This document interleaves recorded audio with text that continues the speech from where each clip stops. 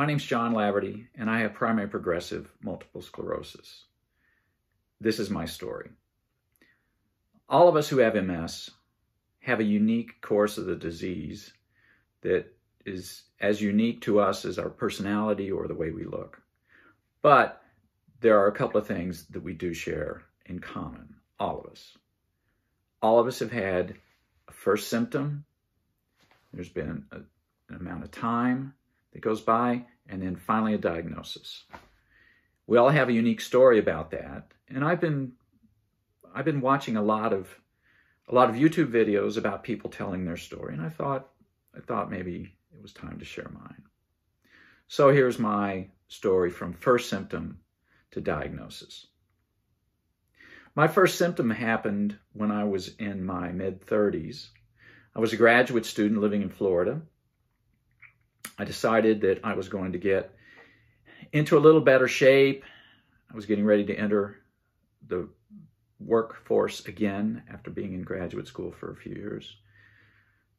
So I decided I was going to start jogging one day. Now I had done a lot of running in my 20s and just over the years I had stopped doing it. So I decided, well, I'm going to I'm going to get in shape and I'm going to do it by by starting to run again. The second I tried to run, actually jog, I noticed something was very wrong. That memory is etched in my mind crystal clear because from that moment on, my life changed. So my first symptom was, as I was trying to run, I had difficulty picking my feet up. I felt like I was running in mud. It was, it was a, an uncomfortable feeling and a foreign feeling. I'd never felt anything like that before.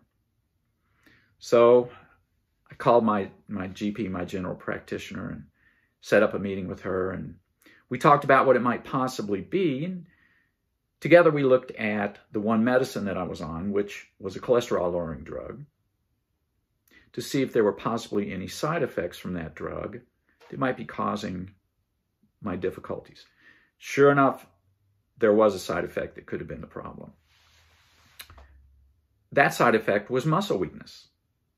Well, that seemed like a logical thing to perhaps blame this on. So I went off my cholesterol lowering drug for six months. Six months later, I went back to see my doctor. She did a blood test to check my cholesterol level. And of course, it spiked upward into an, an unhealthy level. And she asked me how I was doing, if I felt any different. And while I didn't have any additional symptoms, my difficulty jogging was now starting to translate into difficulty walking. And it was very subtle and it happened over a six month period, but it, it was noticeably different. Maybe not from the outside, but certainly the way, the way I felt it, things were different and they were not different in a good way. Then my doctor said, I honestly don't know what's wrong with you. All your blood work seems fine except for my cholesterol, of course. And other than difficulty jogging and now walking, I was a fairly healthy individual. Fast forward a couple of years, I get a new job, get a new doctor. My new doctor, after I explain what what's going on with me, my new doctor says, I'm going to send you to see a neurologist. I was now starting to get concerned. This was now about three years into my symptoms. I now had a noticeable limp. So it wasn't just me saying something was wrong. People could look at me and they could see me walking and notice that something something was not right. So I go to see a neurologist, and that was an interesting experience. Fortunately, he was a wonderful doctor. He put me through a series of tests. He did a neurological exam, ordered a CT and an MRI for me. Did a lumbar puncture. That was a lot of fun. Did a test called a myelogram. That too was a lot of fun.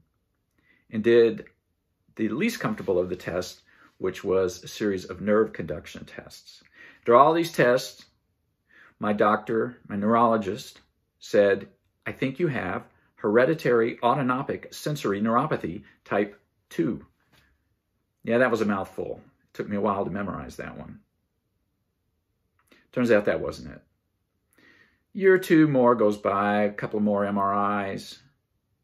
He notices that there's an abnormality in my spine, in my thoracic region. I have a cyst in my spinal cord, something that's called a syrinx. The condition is syringomyelia. So, my neurologist said, I think you might have syringomyelia, and that's what's causing your problem. So this was now my fourth diagnosis. My first diagnosis was reaction to a medicine you're on. Second diagnosis, and by the way, this is a very common one that I've noticed a lot of people with MS experience and are told. It's where the doctor looks at you and goes, I got nothing. I, I don't know what's wrong with you. That's the I don't know diagnosis. My third diagnosis was hereditary autonomic sensory neuropathy type 2. And my fourth diagnosis was syringomyelia. Now, with the syrinx, there is a medical treatment, a surgical treatment you can do, and the type of doctor that does that is a doctor called a neurosurgeon. So I went to see a neurosurgeon, two actually. I, I got one opinion, then I got a second opinion. It was during the second opinion that the neurosurgeon said to me, I don't think that the syrinx is what's causing your problem and surgery is not indicated. But I think you might have something like ALS. ALS is also known as amyotrophic lateral sclerosis or Lou Gehrig's disease. Of all the diseases you can be diagnosed with, that's that's one of the ones you, you don't you don't want to be diagnosed with. That's the one you don't want to hear your doctor say. I knew exactly what that disease was. I had had a friend that had just died from it. So I go back to see my neurologist, and I discovered something very important during that meeting. A neurologist and a neurosurgeon are two completely different fields. He was furious. I did not have ALS. However, he still didn't know what I had. So now that was my fifth diagnosis. Now he said, and this was about year 14 from first symptom to the road to a diagnosis. In year 14, he said, I'm going to send you to see a colleague of mine, someone who is a multiple sclerosis specialist. That was the first time I had ever heard the words multiple sclerosis come from a doctor's mouth. So I go to see the MS specialist. Again, a really fantastic doctor. I've been I've been really lucky over the years to have had fantastic doctors. The neurosurgeon, eh, not so much, but the MS specialist listened to me, did, did all the exams that you're supposed to do, ordered another lumbar puncture, MRI, neurological exam. And he told me, I'm going to get the results back. I want to see you in three months.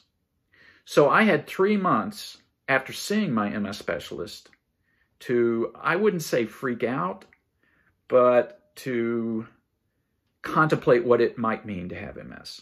In order to know what it might mean to have MS, I needed to do my own research. Fortunately, I have a science background and I have the ability to do research and kind of weed through things that are of value from from a knowledge standpoint and things that that you sh- you should avoid. So I did my research. I learned a lot about MS. I learned what it was, and most importantly, I learned what it was not. I learned that it was not something that would kill me. That was a relief. I learned that there were basically three types of MS relapsing, remitting, secondary progressive, and primary progressive. After learning about the different types of MS, I pretty much figured out that I had primary progressive MS. My symptoms had started out as something very subtle and had progressed in a measurable and logical way over 14 years.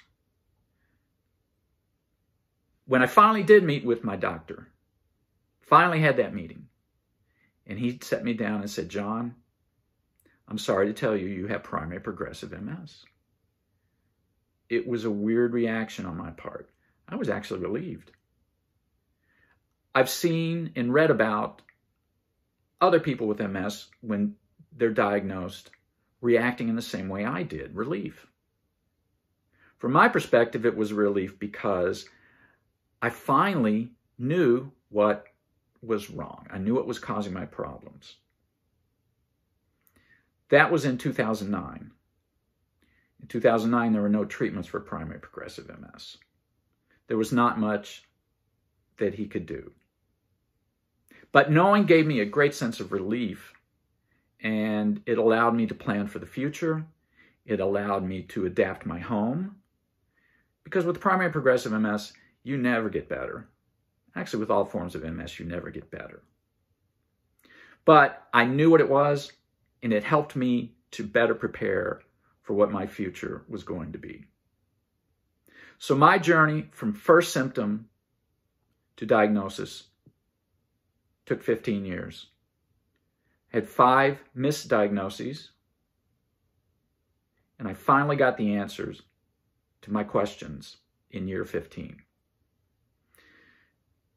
I've watched a lot of YouTube videos of other people with MS talking about their experiences, and frankly, my experience is not all that abnormal. I think maybe the time from first symptom to diagnosis was a bit long, but I have heard about other people who have gone into two decades from first symptom to diagnosis, their journey lasting even longer than mine did. We all have our unique journey it's not fun. Nothing about MS is fun. But we all have that same story. Thanks for watching. And I'm going to be trying to post some other videos about how I have dealt with MS and things that I've learned about MS that perhaps will be helpful to someone else dealing with this horrible disease. That's it for now.